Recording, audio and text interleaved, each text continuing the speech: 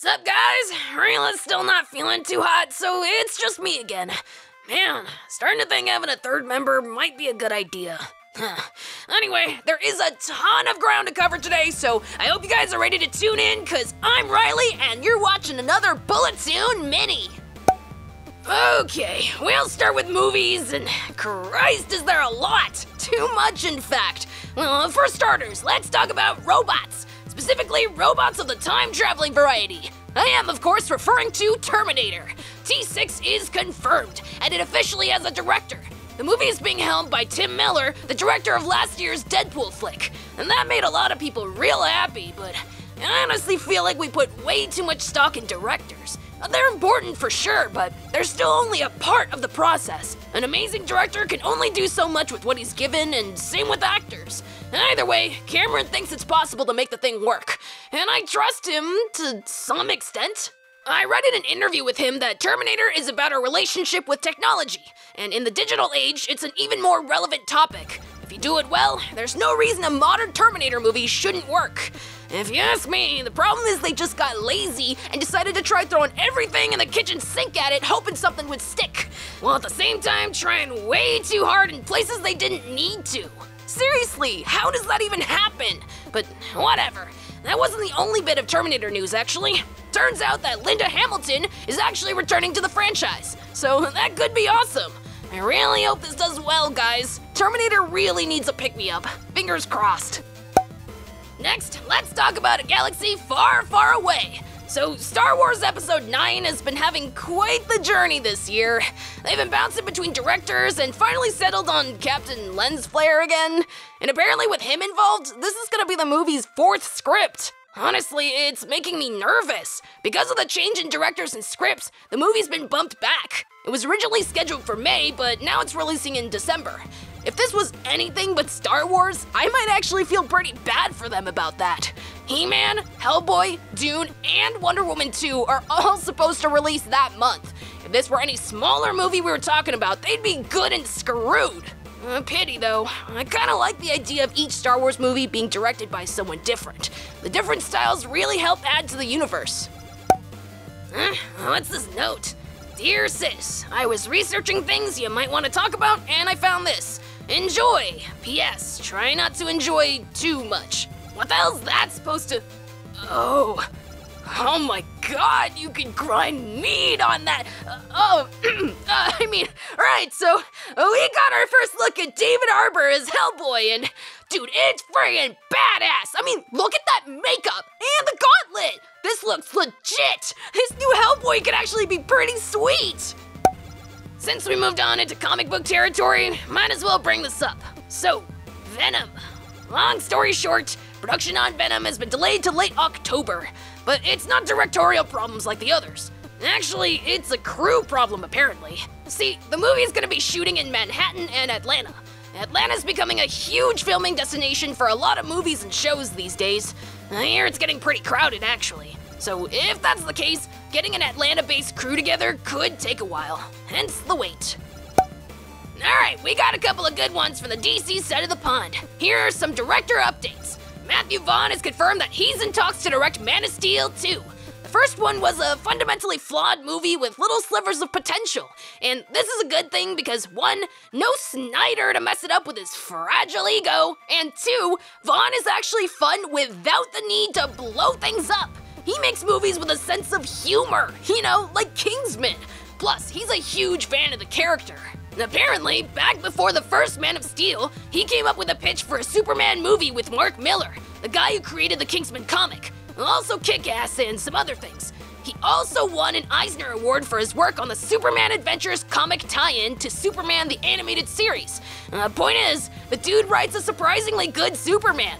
He already works with Vaughn on the Kingsman movies, so if Vaughn lands this gig, maybe they could collaborate. That could actually turn out a really good Superman movie for a change. Animated movies aside, it kinda stings that the last good one was in 1980. Something it'd contradict the darker tone DC's been setting up with their movies, but to hell with that! You can be colorful and fun and still have serious overtones. Wonder Woman proved that earlier this year. And speaking of Wonder Woman, Patty Jenkins is officially back to direct that sequel. But there's actually more to it than that. I was reading about it, and it's actually kind of interesting how it happened. She was negotiating for higher pay, as she should. Women in Hollywood don't get paid even nearly as well, especially directors. I know it sounds kind of petty since we're talking millions here, but before her, the record pay for a female director was 5 million. Jenkins just broke that record with 8 million, plus a back end percentage that could take her up to 10 million. So she's actually breaking records here. The average wage of a director is around the 10 million mark, but that isn't counting back end pay from the movie's gross. So we're not quite there yet, but it's a step in the right direction. So good for her. Hope things continue to get better. Oh dear, they're they're gonna screw up True Lies, aren't they? Ugh. I guess, in fairness, we don't know for certain if they're gonna mess it up, but I'm not feeling too confident. Uh, they're making a TV series out of it. Apparently, they were gonna try this before, around 2010. ABC ordered a pilot and everything, but it never got off the ground. Nothing was actually produced for it. I didn't even know that until Rita told me the other day. Well, anyway, James Cameron's helping develop it, so that's a plus, I guess. Too bad he can't focus some of his attention on Terminator. Uh, we don't have a ton of other info, but McG is directing the pilot. Still not sure how exactly they plan on expanding that movie into a show. It was a pretty open and shut deal in the long run.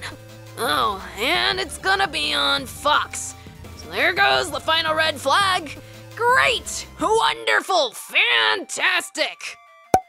The JSA might be coming back! Okay, so I've been catching up with all the DC shows. Well, the ones I actually care to watch, anyway, so Flash and Supergirl. Well, anyway, there's gonna be another big crossover between the four shows, and one of the writers teased it on Twitter. The tweet had a picture of a mask with it. A mask that looks like the one that belongs to Sandman! Uh, uh not that Sandman. And not that one either. Yeah, yeah, that one. A Golden Age DC hero and a longtime member of the Justice Society. We could finally be getting some JSA action on these shows. Yes! I really hope it does wind up being his mask. The crossover airs in November. Can't wait! It has really been bothering me how resistant the comics industry has been to the idea of letting themselves be silly. Thankfully, it looks like that's finally turning itself around. I couldn't really think of any better example than in movies. DC was bitten by this bug bad thanks to Nolan.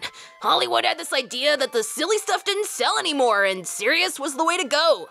And then the Avengers happened. So take that, Hollywood.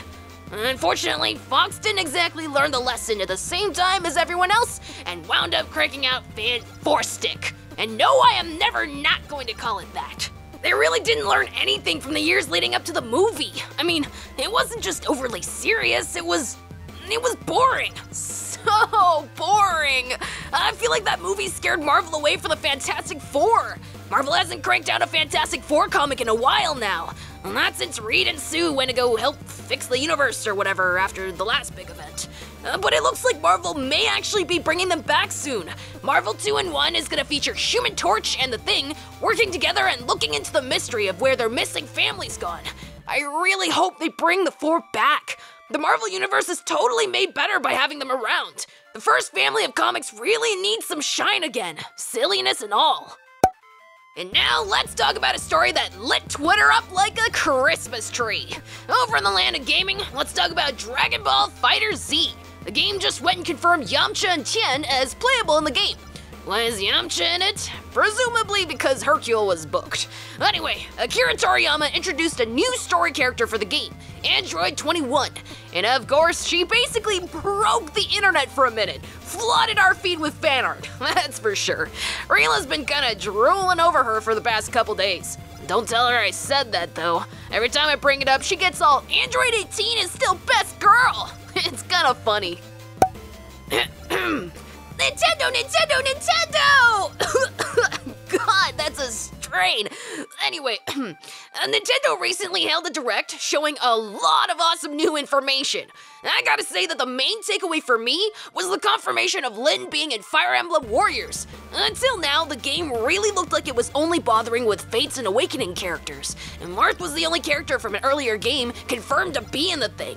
This opens up the possibilities by a lot. Celica was just revealed in a new trailer too. She's technically from an older game, and of course, Pokemon, Pokemon, Pokemon!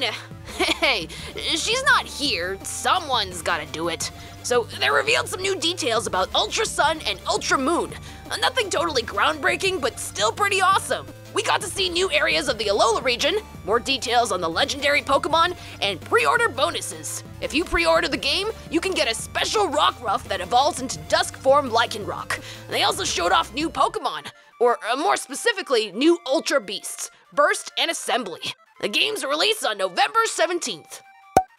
And now let's talk comic solicitations. Marvel dropped all new Wolverine number 24, Amazing Spider Man number 32, Scarlet Spider number 7, Deadpool number 36, Defenders number 5, Sorcerer Supreme number 12, Generations Captain Marvel number 1, Gwenpool number 20, Hulk number 10, Miss Marvel number 22, Old Man Logan number 28, Rocket number 5, Runaways number 1, Secret Empire Omega number 1, Secret Warriors number 6, Squirrel Girl number 24, Uncanny Avengers number 27, Venomverse number 2, Weapon X number 8, and X Men Blue number 11. Then DC gave us. Wait, what? Oh.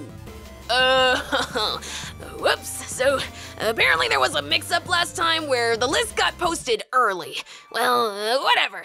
Uh, basically, the list I read off last week for DC is actually this week's. My bad. At least it cuts down on stuff to read. Okay, done. Time to check out. Two minis in a row, huh? That's a first. Man, maybe we really do need a third member. oh, uh, thanks for watching, guys. If you liked what you saw, give that like button a zap. Share with your friends, and feel free to support the site by going to that Patreon link in the description. Hit that left button to subscribe, and that right button to visit the site. This has been a Bulletoon Mini. I'm Riley, and as always, stay tuned!